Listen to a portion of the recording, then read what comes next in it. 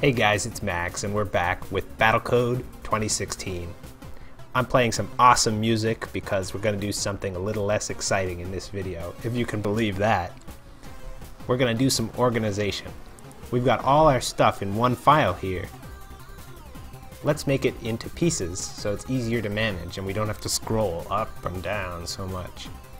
I'm going to copy the package here with Control C and then Control V uh, making sure to select the package first. Then I'll change the name to Lecture Player 2. Then I'll close this robot player because it'll get me confused with the identical copy here.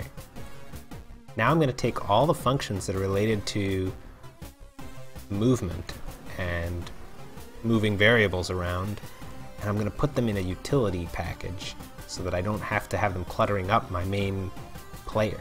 So we'll call it utility.java can call it whatever you want, really.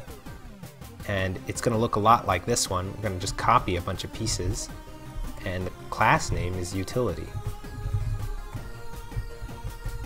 Okay, so then we just copy the pieces and move them over. So let's move these variable names over, and then we'll move over these two functions, forwardish and join robot info, both of which are they're very nitty gritty detail oriented and we want our sort of basic strategy in Robot Player.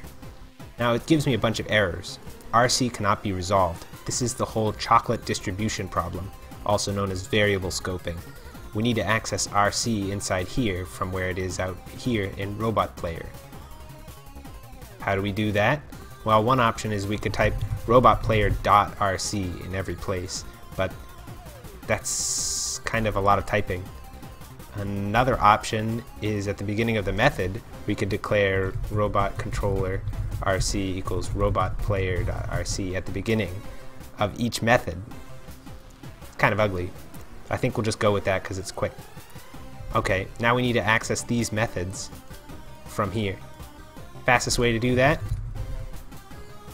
just type the name of the file at the beginning. Now, if it's still got a problem, it says the method is not visible. That's because you can set whether a method is visible or not by setting it private or public.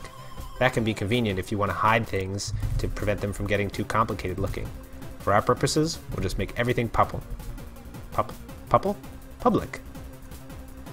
Alright, and like that, we're all set. So we've got a much cleaner uh, build here, and the next time that we meet, we'll do something super cool and organized. See you next time.